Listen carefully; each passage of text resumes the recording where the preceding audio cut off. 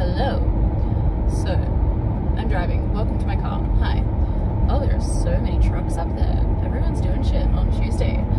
Anyway, I want to talk about diet, but not in a very like right or wrong way. I guess just my experience with it.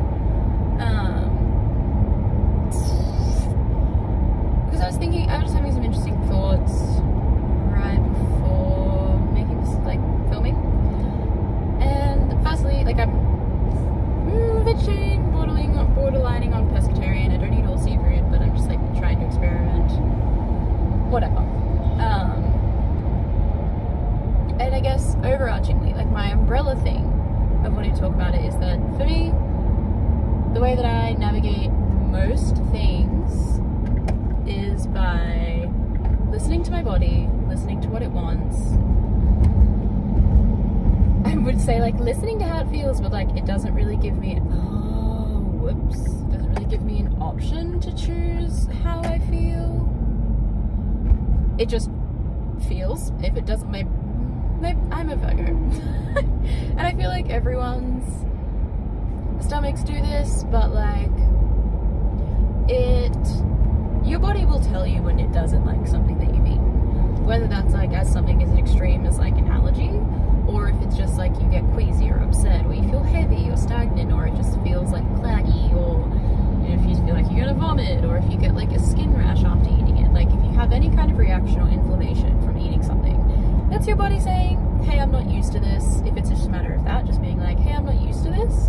I haven't quite acclimatized to it. Like your gut microbiome doesn't have the things that it needs to be able to break this down. Or like, hey, this is not good for your body. Do not eat this. Um, and I've been through waves. And I've been through cycles of like understanding that because I guess starting from like way back when, I haven't liked meat for a very very long time. From ever since pretty much I can remember, I've not really liked the taste of like meat. I've liked the taste of like the McDonald's cheeseburger and like a Dagwood dog, but that's rarely, it's barely meat.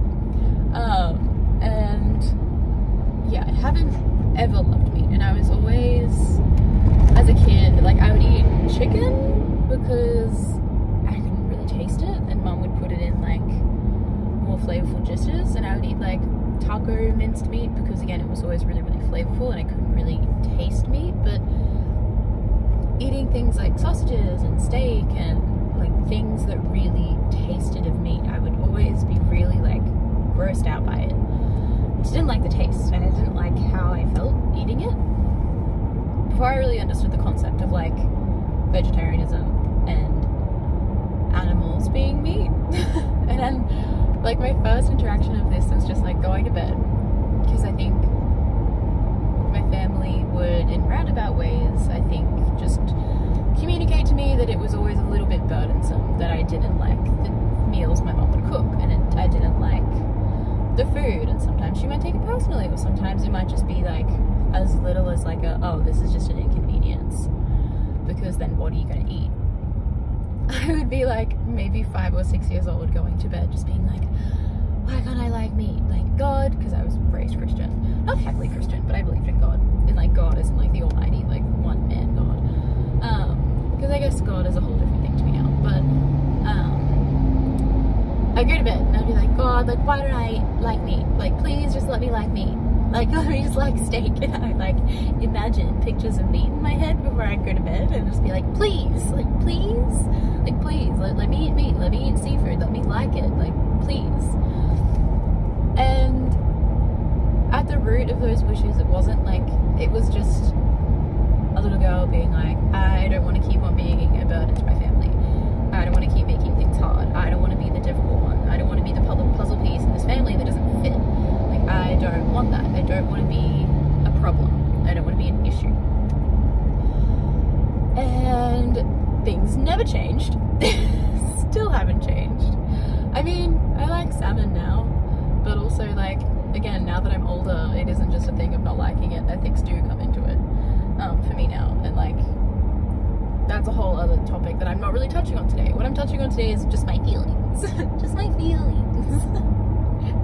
And just my personal feelings because I guess I mean another disclaimer that I want to make is that whether it is like an ethical conscious choice or whether it is just you listening to your body either of the like pretty much any choice you make in terms of like your diet and how what you put into your body and like your choice for your life and taking care of yourself. It's nobody else's business and it should be respected just as like as a fact of you being a human being and like you're allowed to have a say in your rights about your body and what you put into it and everything like that. Like no matter what your reason is, it should be respected and you deserve that as a human being. Um, but I think my experience of it, I was always spoken to and like communicated to and like dealt with by the like in the manner that this was my choice and I was choosing to be difficult. Like, why couldn't I just choose to eat meat? Because I'm choosing not to eat meat, so why don't I just eat it? Because I did when I was little sometimes, and it's just about it over. Um, never in those like outright words, but that I think is definitely how I was handled. And I don't think anyone in my family has ever understood that it's not me like choosing. Even and even if it was, it shouldn't be an issue. But I'm listening to my body. And ultimately, these people are asking me to not listen to my body, to make me feel like shit physically and mentally, just to not be an inconvenience to them and to not be difficult. And it's changed now. like in the past, like couple years, like it's gotten a lot less like eye rolly or you know like forgetting that I don't drink milk you know like the meat thing's always been fairly obvious but like for a few years there it would just be like I'd go over to my parents house and if they ever made me a chocolate or a coffee they'd make it with milk and then I'd be like oh like I'd try it and I'd be like oh like do you have any soy milk? And they wouldn't have any soy milk and so I'd just feel wasteful and like then my mom would feel bad because my mom's a very sensitive person and so like if she like does something wrong it's like it's a whole emotional thing and like it would just create this just loop of just like fuck like in my head the thought would be like god everything would be easier if i just ate like a normal person. And then what would also be fed back to me from the people around me is like god it would just be so much easier if you ate like a normal person. And it's like i know this is probably just this is just something that everyone goes through if you have an alternative diet and i understand. And it's just difficult. Like there's no buts, it's just annoying. Like it's annoying just to be doing something that I feel is so right. Like I'm listening to my body. Like it's not just like it's not that I'm choosing to be difficult, which is how it always translates to feeling. Like through any conversation, or through any interaction, these people seem to be dealing with me as like a, oh, you're just choosing to be annoying and it's like, fuck, like, no, I'm not. Like, I'm not choosing to be annoying. And again, even if it was ethical, even if it was a conscious mental choice, it's not to be annoying. It's because it what sits right with it by that way, like by your values, by like your spirit, by what you believe, how you want to lead your life. And then there's like there's a little bit like that with me, but a lot a lot of it also is just that like like a recent thing is that my body like since I I've been eating less gluten, and so now that I've been if I eat a little bit of it upsets my body. And I went back to my family, and my dad just gave me this whole lecture of just like, oh, well, it's because you haven't been eating it. If you cut anything out of your like diet, then once you start to introduce it again, your body's going to go in shock because it doesn't know how to deal with it. And then it was just like, well, you just need to start eating more gluten again. Like you just need to start introducing it in like low amounts. And I was just like, like I don't want to. Like I don't I don't want to because my body feel like and so I tried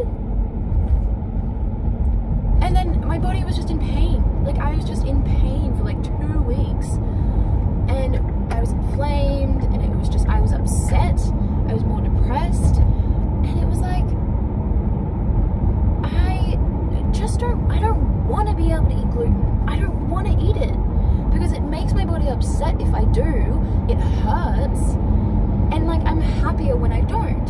And that's the same thing with meat, and it's the same thing with everything that I choose not to eat. Is that like it's not me just choosing to be like so I can be a difficult person and make everyone else's life a burden. It's like my body, I'm listening to my body. If I eat something with gluten in it, if I drink dairy milk, if I eat meat, my body feels like shit. It feels like shit, and not in an emotional way. It just physically feels like shit, like it, and it's in pain, and like it, there's like stabbing feelings on either side of my abs, and like I feel nauseous and I want to vomit. Like my body hates it. Like it it, and it doesn't feel good.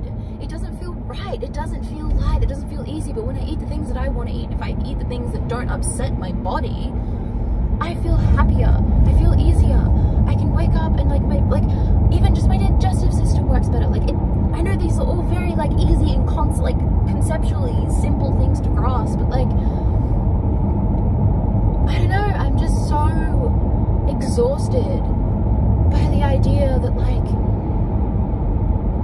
listening to your body is something that is an inconvenience for other people, and that listening to your body is something that should be changed and like put through, like pushed through just so you can fit into what's easiest to cater for. Like, why do I have to introduce little bits of gluten and get used to it again when doing that just makes me feel sad?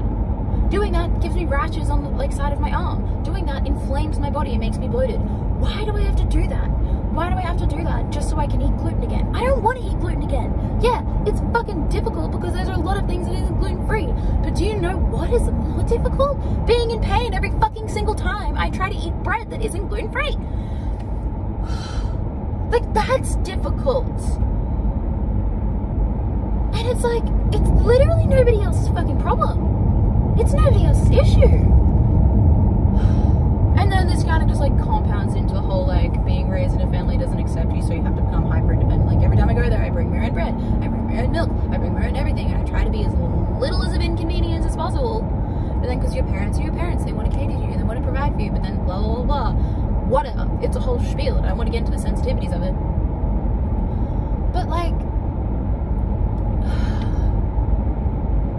I just caught myself like well, not even just caught myself. Like I was trying to do the thing that I was doing when I was little, which is just like looking at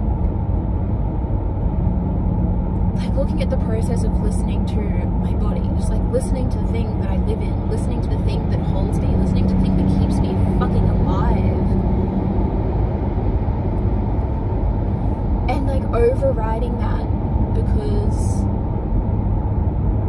of my family and overriding that because of the idea of just like the fact that I could just eat a little bit of gluten every now and again and maybe my body would get used to it again and maybe my gut, micro, gut microbiome would be used to it again. It's like, it just flashes me back to that little like five or six year old girl that was just like going to bed wishing she could eat meat so she'd be less of a burden. And it's like, God, like, why should that feeling ever exist?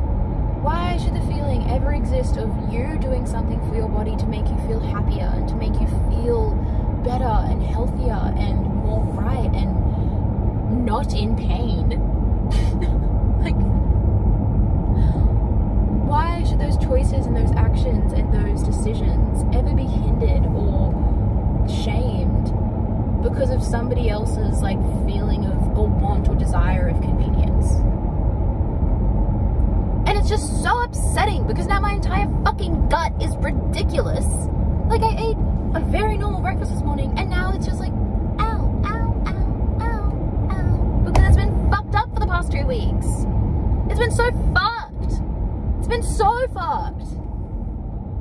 Ah! anyway.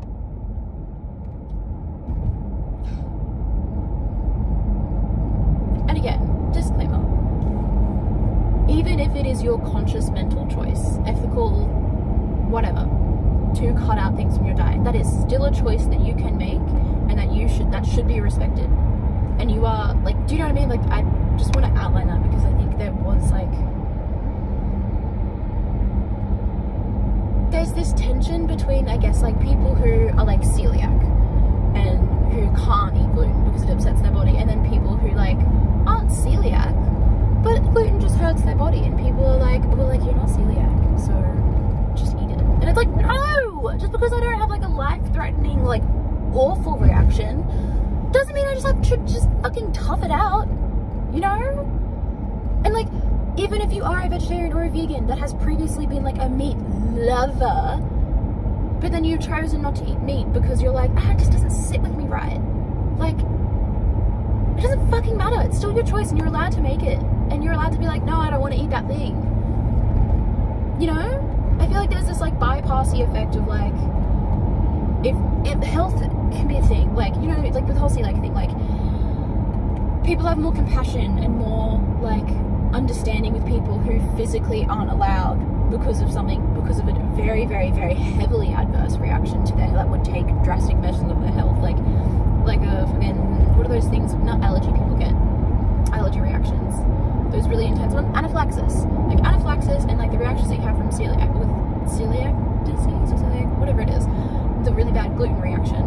People have a lot of understanding and a lot of like, oh yeah, that's okay for those people not to eat those things, which it is, but also if somebody chooses to omit something and it's like a choice, it's as if that choice is then taken as this like, I'm choosing this just to piss everyone off. Where it's like, it's, yeah, it's a choice, but it's also, and like, yeah, the reaction might not be as bad. But like,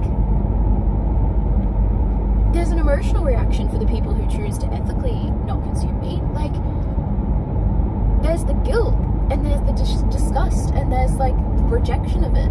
And then there's also people who aren't celiac, who eat, like who don't want to eat gluten, who like, yeah, I don't shred my insides and like risk like immune stuff, but it still feels fucking awful. And I feel like if you can extend compassion to the people who whose bodies have like a more extreme reaction, you can extend compassion to the people who just choose not to. It's the same fucking thing at the end of the day. You're choosing not to eat something because it has an adverse reaction to your body, soul, mind, whatever, no matter how much of a scale that is. It's like the same thing of like when people want to compare pain.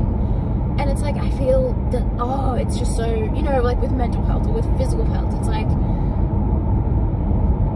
you know, like if there's someone struggling at work, like doing anything, and like the same thing about mental health of just like, you know, there are obviously people, there's severe mental illness. You know, there's like ones that like it risks your life. But then there's also people who just like go through waves of cyclical depression. But it's like a differentiating, it's like compassion can only be extended due to like how much suffering you're going through. And if it's an ex like an exorbitant amount of suffering, then you get all the compassion, which you should. But also if it's like only a little bit of suffering, it's like, oh, well, just like toughen it out and like don't like just whatever. Like it's not, you're not it's not as bad as other people, so deal with it yourself, essentially. And it's like motherfucker, I'm just like ah, I'm just so mad about it. Just why can't everyone just be nice? Why can't everyone just like it? Why why why can't everyone just understand and have compassion? Why? Is it because deep fucking down, you know the gluten upsets your gut too, and you're just choosing to eat it because it's the easiest thing to eat, and you're scared that if you stopped eating it for a little bit, your gut microbiome would be like, oh yay, I don't, I don't feel inflamed anymore. And then, like, you know, you're just being a little fucking bitch that's pushing yourself through because it's easier. Ugh. Fuck you! And I'm not talking to anyone, but like, drives me insane. Drives me fucking insane. Why can't people just be more compassionate? Oh my fucking god. Doesn't, it doesn't take anything from you. Doesn't cost anything just to be like, oh, that's your choice? Nice. Why is that so hard? Why? Oh, I'm angry. I'm angry, I'm angry, I'm angry.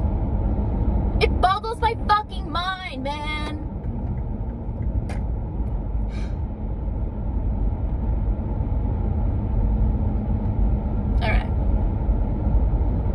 I'm just getting super angry now. And I'm allowed to be angry, but now at this point I'm just like yelling at a phone. It's like, well, how much of this do people actually need to see? I mean, you know, you can see whatever you want, but I'm just gonna yell about the same thing for like maybe another 40 minutes, who knows? There's no stopping me. I'm enraged. I'm angry. I'm very angry. Because Jesus mother fucking Christ. I just I recognize myself as somebody who is so impressionable and highly, highly, highly prone to people pleasing and bending what I know is good for me because of other people. There's just another pattern of that, of just being like, oh, maybe I should just like eat gluten and then like put my body through like absolute living fucking hell for like two weeks. Mm, because it just might be easier. It's like, no, bitch, like you're stupid. No. I mean, no, I'm not stupid, but you know what I mean? Like, no. Bitch, no, we're through that. We're done that. We're done with that. We're not doing that anymore. Gluten is owie on tummy. Makes hurt. Digestive system, fucked. Don't do it. Who cares what your dad says? God damn it. Meat doesn't taste good. Tastes gross. Probably tastes good to other people. Good on ya. You're allowed. That's fine. I'm not gonna tell you not to eat it. But just let me not eat it. Stop giving a shit about what I put in my body. Blah. Okay. I'm done. I'm done. I'm not done. I'm gonna still rave about it but I turn this video off, but for now, for now, I'm done. Okay? Have a lovely day. Thank you for like listening to this. Um, if you feel similarly, know that you're allowed to be fucking pissed and trust your body. Listen to your body. Above anything, just listen to your body. Right? You know, if you eat something and it starts making you feel a little queasy, it's fine to not eat it. I had that experience with eggplant. I bought eggplant and I made a delicious pasta bake and then it made my body feel like shit. And I'm like, oh man, this was so sad. Like? I was like, oh well, fuck, it's eggplant. Who gives a shit? It's fucking eggplant. No one gives a, no one gives a fuck. No one gives a fuck. It's fucking eggplant. My family didn't even eat it as I grew up. No one I know likes really, like, really likes eggplant to the fact that it'll be like a fucking inconvenience for me to not eat eggplant.